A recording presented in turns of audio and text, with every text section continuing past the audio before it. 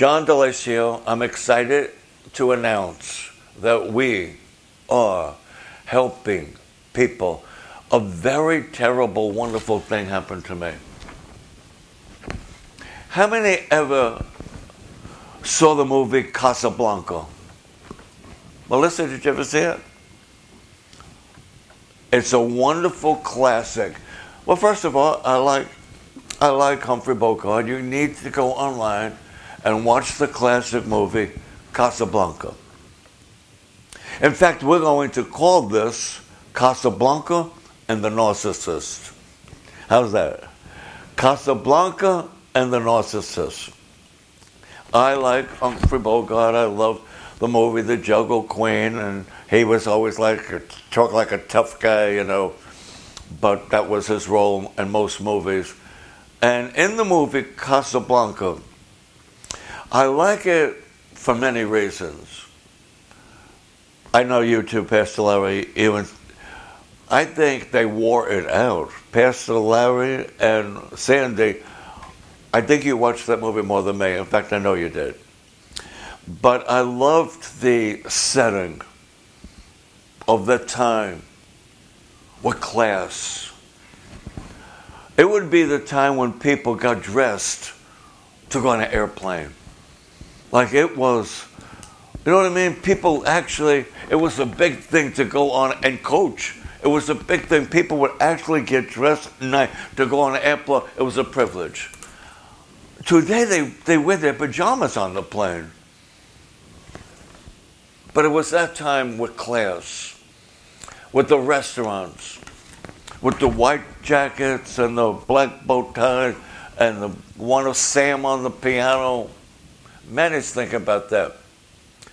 And it was a very interesting time with a lot going on uh, with wars. And Humphrey Bogart, I forget his name. What's the name of that? What was the name of his? He had a nightclub.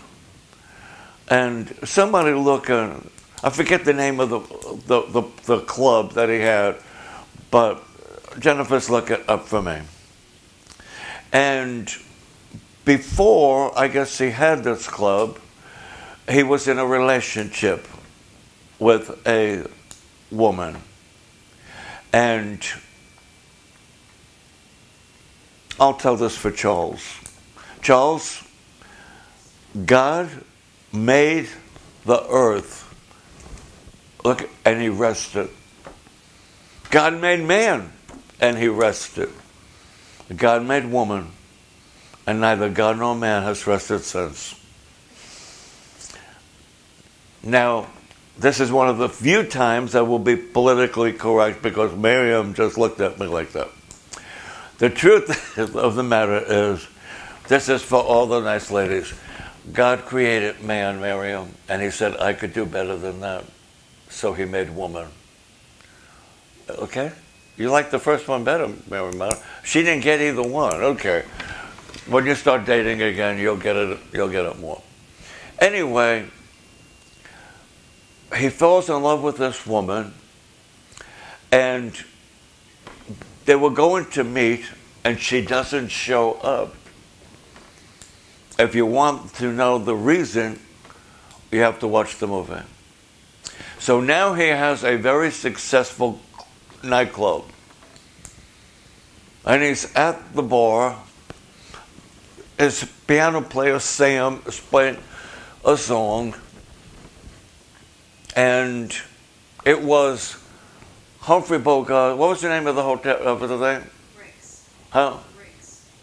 Rick's. Rick's Place. That was the name of the club. Everybody goes to Rick's Place. Right? Pastor Larry was dying to tell me. I, I thought he was going to call me pretty soon and tell me, but we got a Rick's Place. And they had a special song. And Sam started playing the song. And he would get mad. Sam, what I tell you? Never, I never want to hear that song again. Because it brought back memories of this girl that stood him up that he was in love with. He's at the bar.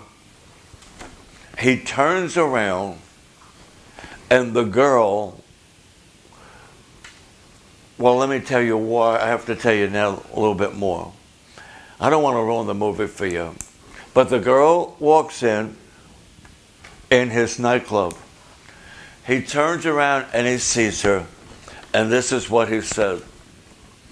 With all the joints in the world, she's got to show up at mine. That's how he would talk. With all the joints in the world, she's got to show up at mine. Well, what does that have to do with narcissists? Thank God they are far and few in between. But with all the churches in the world, one of them had to show up at mine. That's what I was thinking. With all the churches in the world, they had to show up at mine. And it was a exceedingly abundantly wonderful miserable experience. Why was it good? I know the scripture. My God causes all things to work for good for those who love him and called according to his purpose. But it was awful what we had to go through with this individual. It was a expensive, painful, heartbreaking, aggravating learning experience. Well, why was it good? I never knew there were people like that on this earth. But now that I know it, I can help others because we have overcome them. If it wasn't for the anointing of my life, 43 plus years of full time ministry, understanding and teaching against the Jezebel spirit, that thing could have destroyed our life in church. But it didn't because I'm smarter than it. I was trying to help them, not from the narcissist thing, because I didn't know they had it. It took a while to discern it. The doctors didn't, the, the psychiatrists didn't, the people playing deliverance for them didn't discern it. But through a series of things they were doing, I said to myself, what's wrong with this person? But thank God for all my friends on Facebook. They started posting things about the narcissist thing. And an influx of them, more and more and more. And I looked at that, the symptoms, and what they went through with a narcissist so I began to do a study. And psychiatrists call it a personality disorder. You could call it what you want, but I call it no good. So I started to do a study on it. So let me start off by saying, I want to help you with it. I want to help everybody I can. Now you can help people too. If you know a couple that are dating, and you have concerns about one of the people in that couple, warn the other person to do their own study on the narcissist. Warn that friend. If they don't listen, warn their parents and give their parents an education. And it's all over the place now that I'm looking at it you can look on the internet and they have doctors, psychiatrists, uh, I want to say attorneys, they probably get involved too, and uh, exposing this thing and trying to help people. It's terrible. It is terrible. Now, they say it is not a mental thing. Not a mental thing. They say it's not a physical thing. They say it's a personality disorder. And they say that there's no or very little way you can help these people. So, why am I talking about it? I'm not a doctor. If you are dealing with somebody and they have narcissist personality disorder, the way you can find out is go online and look up professional people who know a lot more about this than me. But here's the situation they say only 15% of the people in America have this problem, this disorder. Thank God. But one of them showed up at our place. It was good because I learned a lot and I am now determined to warn everybody about it. Uh huh. I'm going to do it. Why? I'll tell you in a minute. I'm glad you got a lot of questions. I'm not a doctor, I'm not a psychiatrist, I'm not a licensed whatever, but I am a man of God who's been in full time ministry well over 40 years, pastoring the same church since 1988, was an executive assistant, associate pastor, and in charge of the counseling department for a very big ministry for 10 years before I became a senior pastor in 1988. I have some experience. I owned quite a few businesses. I have never met anybody like that. I even told them, You make me feel like a failure. I've had a lot of employees, a lot of staff members, a lot of church members, and I don't know why you can't get the help that you need. And but here was the first symptom that I began to notice. They got sick a lot. But never when the ball game was on. Never football. Never the baseball. They were good, they were healthy. But every time our ministry had a chance to really get on its feet and go forward, they would manifest with some kind of they had a heart attack or they were having a stroke or whatever. And I told the rest of our staff, it's very interesting. This always happens when we have a chance to go forward. And I found out from my friends that one of the symptoms of somebody that has this will ruin every special event, even their own wedding.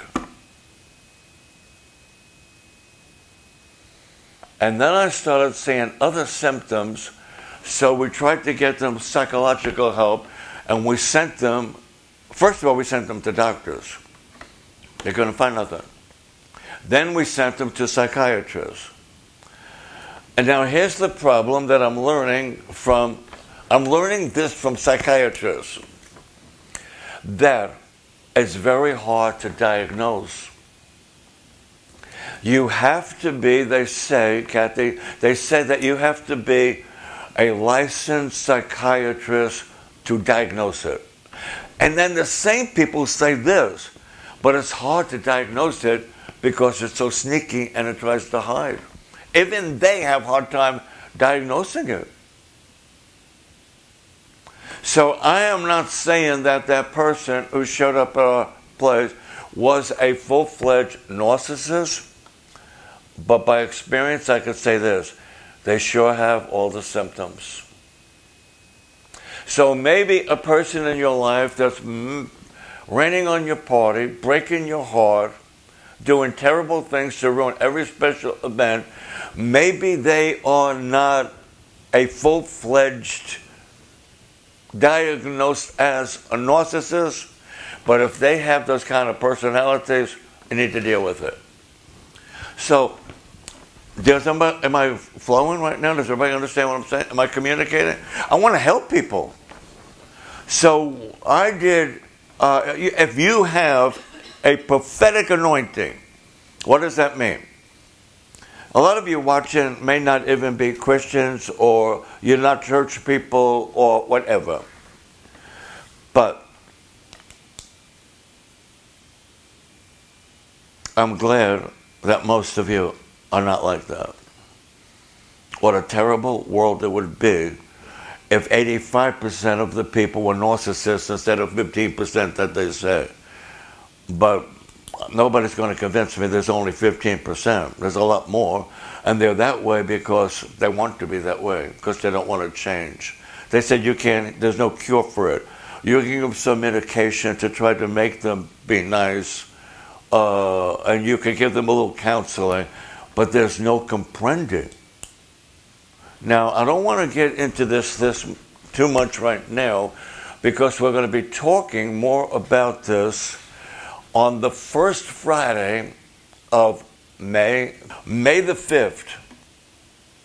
We're going to be teaching on exposing the symptoms of the narcissist personality disorder. That's May the 5th.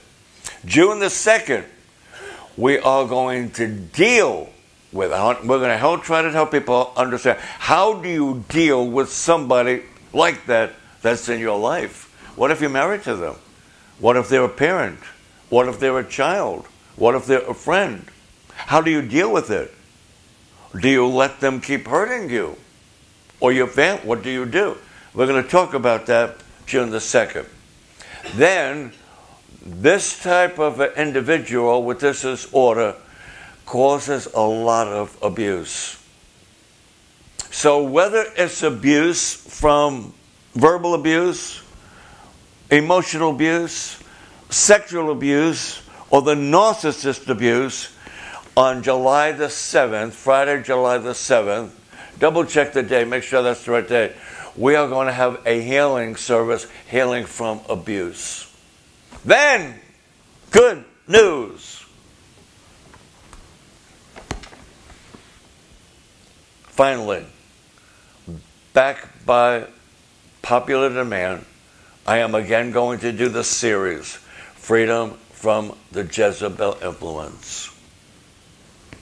Why am I teaching the subject? Freedom from the Jezebel Influence will be on Friday, August the 4th. Then it's going to kick off a series that I'm going to do on freedom from the Jezebel influence, exposing it, dealing with it, and I have preached in well over 500 services a year for many years. And so many different types of denominations, non denominational, interdenominational churches and ministries. So, Miriam, we are going to do this right. We're not going to be pushed to do it. It's going to be a whole series. And because I'm a minister and I've seen it attack churches and ministers, where other place would be more appropriate to teach it? On Sundays. So, you're going to have to get the video and announce all this uh, announcements because I am also. August the 4th will be a Friday, first month of August. We are going to introduce it, talk about it, expose it. Then we're going to kick off a series that we are going to teach for the next 10 Sundays at 2.30 in the afternoon in Orlando, at a Sunday services in Orlando. You all got that? All right. So mark your calendar. The teaching right now, we're having Friday night ministry services, but the Jezebel, you could call it a seminar, you could call it a conference, you could call it whatever you want to call it, it doesn't matter. But I felt it was appropriate to teach it on a Sunday because that thing has tried to ruin so many churches, men and women of God, and so we're going to deal with it on a Sunday. So if you want more information about this series that we're going to be teaching, of freedom from the Jezebel influence, and you want to RSVP, I really want you to make a. There's so much to say about it. We will probably be dealing with it two Friday nights and 10 Sunday afternoons. 2.30 in the afternoon uh, at our 2.30 service in Orlando. But freedom from the narcissist, we're going to be dealing with that on May 5th, June 2nd, and July 7th. Now, all the other Fridays, we're going to be doing things like this and a lot of other subjects that we're going to be talking about. So I tried to go a little slow. This was a lot to comprehend, but did everybody understand what I just said? Did I do good? Jesus created the world and he said it was good. So I think I did a good job because that was a mouthful. So why am I calling this Casablanca and the narcissist? Humphrey Bogart said, with all the joints in the world, she had to show up at mine. And when I was dealing with that individual, I would say, out of all the churches in the world, they had to come to mine. But I am glad that they did because I never, ever, ever would have had that experience. See, the very problem you have, the very attack against you, it's your ministry. You might not like it, you might squall and bowl. I know one prophet, he was crying out to God, God told him he was going to take him to a new level. A real prophet that really hears from God. And God said to him, I'm taking you to a new level. Everything was going wrong. Everything. And he said, God, you told me that you're going to take me to a new level and I got all these problems. And he said, he heard God say, Welcome to your new level. That was a friend of mine named Bishop Bill Hamon, who I heard him say that. He was squalling, and he could he could talk faster than you can listen. When he prophesied, it's like a machine uh, gun. And he said, God, you told me he was taking me to a new level. And he heard Holy Spirit say, Welcome to your new level. So when you have a situation, a problem you're going through, you're in training for reigning and schooling for ruling. And the good thing is this it's a test. Everything in life is a test. If you pass the test, you get a promotion. You never fail. Not in God's classroom. You know what happens when you fail, Melissa? You get to take it over again until you get it right. Melissa's thinking, why did I come today? And where is my uh, mentor? She's glad you're here. She's proud of you. All right. A lot of information. Listen to it over and over and over again, and with pencil and paper, pause it, make notes. Now, I'll say this one more time. I'm going to be doing a lot of teaching on this. If you know anybody, you are concerned about the person they're relationship with or engaged to, and you see that the person could have these symptoms, warn them warn them. Deliver your soul. If you can, warn their parents to learn about the narcissist thing. Because it not only affects them or the person they're relationship with, it affects the whole family and a whole church and a lot of other people. Thank God I'm smarter than it. Thank God I'm anointed. Thank God all the time they thought they were playing their little game. They weren't appreciative to know that what we were trying to do was get them help. Unfortunately, they would rather run than get the help. So I'm going to do everything I can to let everybody I know understand this thing is real and it's horrible. Real and horrible.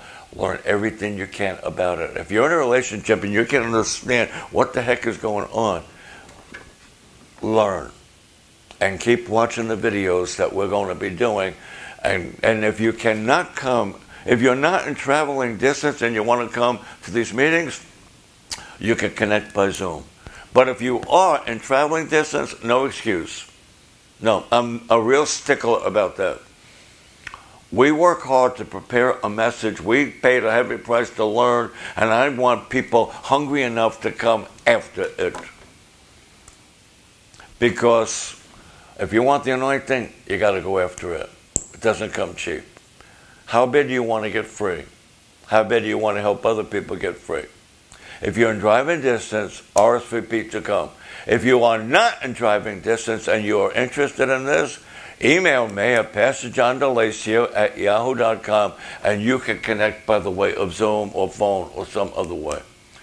We want to get the word out. Now, if you got more curious, if you're curious about why I am sharing this and you want to really understand more, keep watching the videos on, on why. One of them, it will be called Bird Dog and the Narcissist. Somebody say Bird Dog and the Narcissist. Watch that one. The other one I want you to watch is we'll call it horses and the narcissist. We'll call it racing.